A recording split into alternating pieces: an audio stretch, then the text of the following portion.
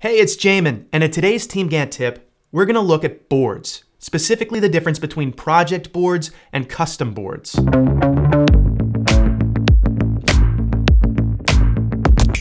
Gantt chart is a great way to track your project's big picture within a linear timeline, but in some cases, the order in which the tasks are completed may not be as important to everyone as being able to clearly see a backlog of your tasks and keep track of where those tasks are in a specific set of phases that they need to go through to be completed. That's where boards come in. Kanban boards are great at tracking this type of thing. Let's say, for instance, that your tasks all start in a phase that we'll call to do. This is your backlog of things that still need to be done. When you're ready to start working on a task, you could move it from to do into in progress. And once it's completed, you could move it on to done. Now that's a really simple representation of how boards work in TeamGantt, but here are some of the things that make it more powerful. You may have noticed that the task's completion percentage automatically went up when we moved it through each phase. That's because you can assign completion percentages to each column. So when a task moves to the next phase, it's automatically updated. It works the same way if you move it back a phase.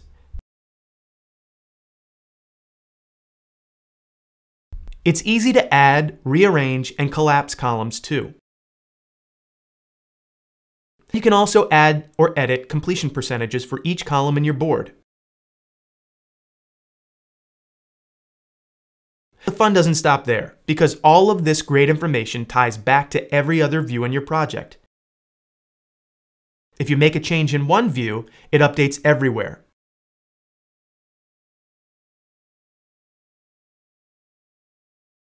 So if you're a project manager or stakeholder that needs to see how all that work being done in boards affects your beautiful big picture timeline, you can, instantly. Or if you're part of a smaller sub-team that really only needs to worry about managing your part of the work in a Kanban board, you can do that too.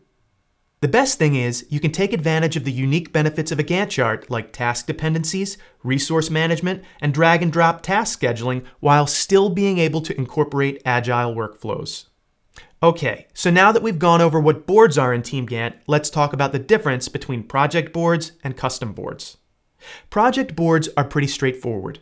They're a one-to-one -one representation of a Gantt chart project in a Kanban board. Everything in your Gantt chart is displayed in your board, and everything in your board ties back to your Gantt chart. It's essentially a different way to view and work on your project. And setting them up is easy. From your project, click on the Boards tab, then add your project phases. They'll show up as columns in your board. We'll stick with To Do, In Progress, and Done. Click Next. Now, if you'd like, Add completion percentages to your board columns. You don't have to do this if you don't want your task completion percentages to automatically update when you move them across the board. But if you do, this is where you set this up. We'll go with 0 for to do, 50% for in progress, and 100% for done. Click Finish and Create Board. And that's it. Now you can move your columns across the board and see them update. You can also click back to Gantt View to see that everything is updated there as well. Easy peasy.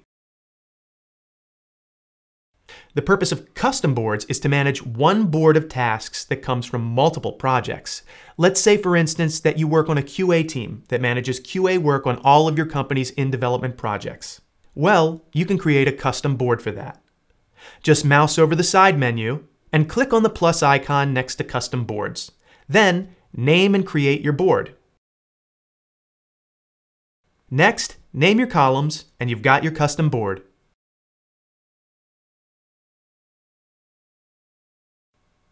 Before you start searching for tasks to populate your board, you may want to set some filters. You can filter by people, labels, projects, statuses, or colors. Let's say that your team is working on these three projects. Now, only tasks that are part of those projects are displayed. You can still search for a task by name, or you can scroll and start dragging tasks from these projects into your board.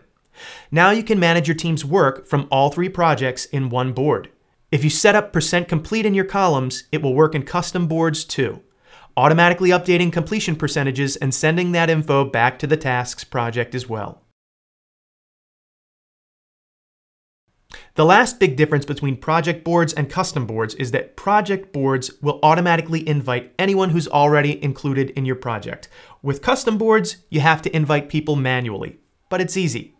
Just click on the Invite People button and then invite them in the same way you would to your Gantt chart projects. You can search for the name of anyone in your account, and if you don't find them, create a new contact and invite them. Boards are available on all standard and advanced plans. To learn more about the ways that TeamGantt can help you manage your project with boards, go to teamgantt.com/support.